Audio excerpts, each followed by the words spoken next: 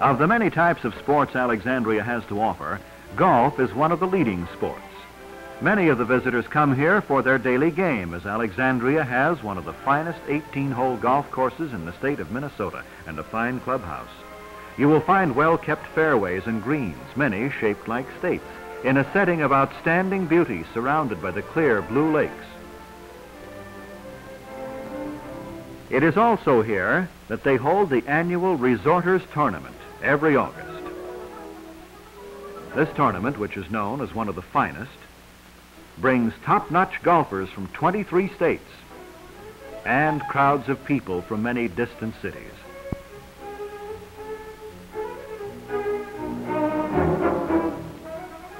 Both ladies and men are entered in this great yearly tournament, and a good time is had by all for the full week it takes place.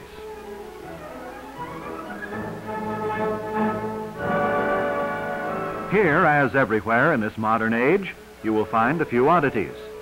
For instance, if you don't want to walk to your game, just board your little putt-putt and off you go on your merry way up and down hills and over the smooth fairways.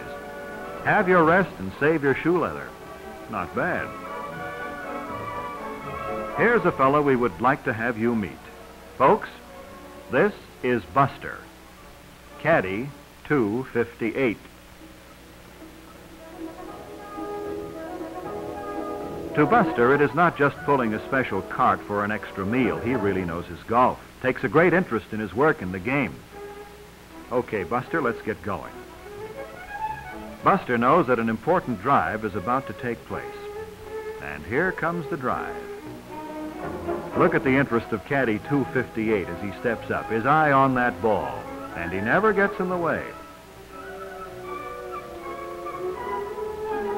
He likes to watch from the edge of the green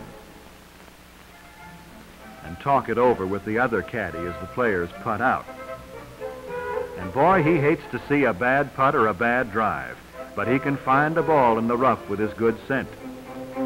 And if the ball goes into the miniature lake around the Minnesota green, well, there's Buster on his way. Now, where did that ball go?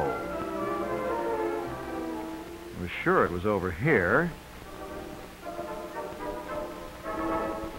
Just paw it around a bit, Buster. Now, where is it?